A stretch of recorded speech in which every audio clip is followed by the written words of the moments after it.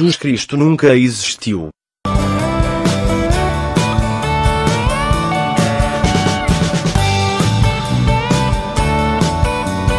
A religião foi a maneira mais sórdida e hedionda que o homem encontrou para dominar os outros seres, seus semelhantes. Existe uma chave para a liberdade. Pensa. Se quiseres ser um cordeiro, seja feita a tua vontade.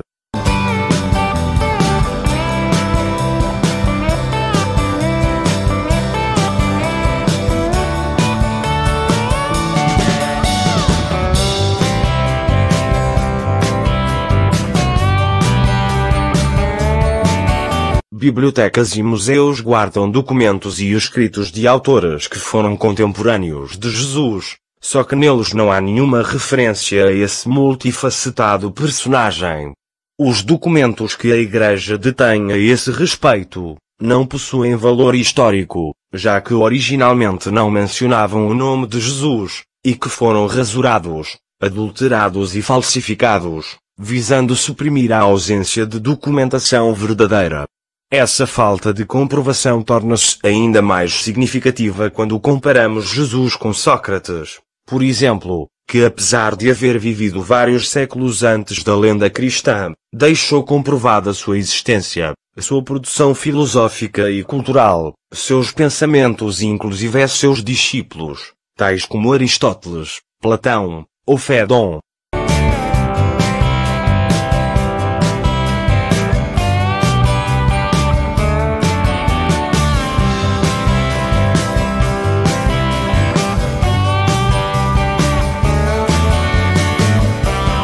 Enquanto que Jesus não deixou verdadeiramente nada de palpável, seus discípulos teriam sido analfabetos que nada escreveram e que também não foram mencionados em lugar nenhum pelos historiadores da época.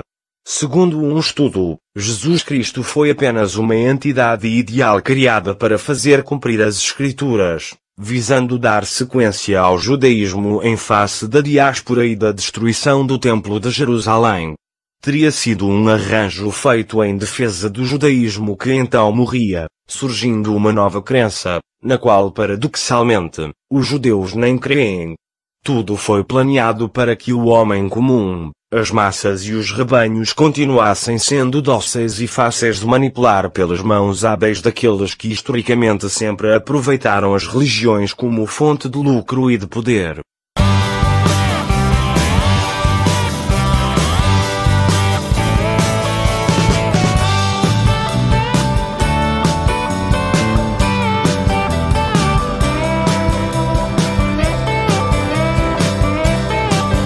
Nome Crestos, Cristo e Jesus eram nomes muito comuns tanto na Galileia como na Judeia e não se sabe a quem eram feitas as referências. Filon de Alexandria, apesar de haver contribuído muito para a construção do cristianismo, nega a existência de Cristo.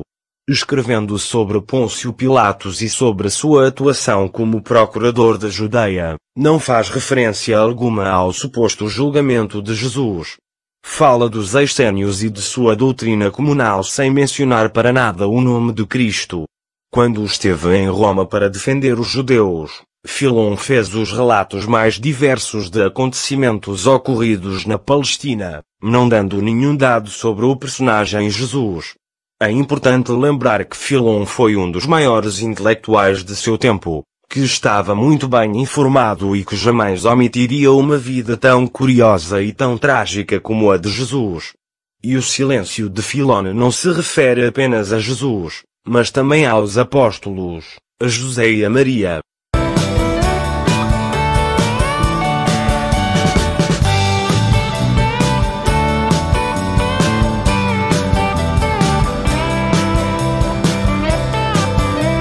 Em 1947, em Qumran, foram encontrados documentos escritos em hebreu que falavam em Crestos e não em Cristo. A Igreja, ao tomar conhecimento da descoberta de tais documentos, pretendeu fazer crer que o tal Crestos era o mesmo Cristo de sua criação, só que as investigações posteriores deixaram muito claro que se tratava de uma fraude da Igreja e que Crestos não era o Cristo que a Igreja pretendia inventar. Tais documentos haviam sido escritos quase um século antes da novela do Calvário e que Crestos era um líder de uma comunidade legendária e comunista.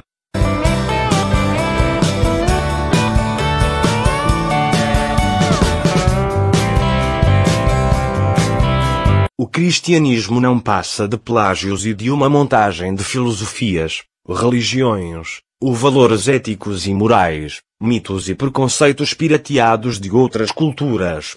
Como se sabe, antes do mito de Cristo já existiam centenas de outros supostos redentores, de outros messias, outros enviados. E quase todos anunciados e nascidos de virgens milagreiros e humanitários que prometiam voltar para redimir o populacho de suas culpas e de seus pecados, blá blá blá. Até hoje, entre os mais famosos e com mais status podemos citar Buda, Vishnu, Krishna, Mitra, Horus, Adonis. Inclusive os preceitos e a moral usada pelo cristianismo e atribuída a Cristo, foi sugerida e divulgada milhares de anos antes, por filósofos, charlatães visionários.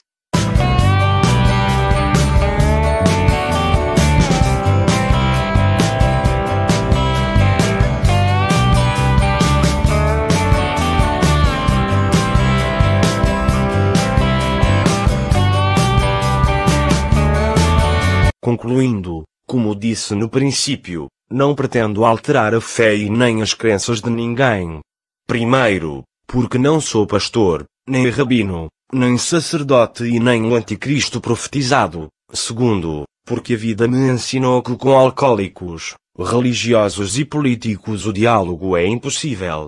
Prefiro, desde o alto de minha plataforma, ficar assistindo essa vil canalice religiosa que segue com a cumplicidade dos governos, dos exércitos, da mídia, das universidades e até das putas, contaminando crianças, mulheres, velhos e todos os tipos de otários.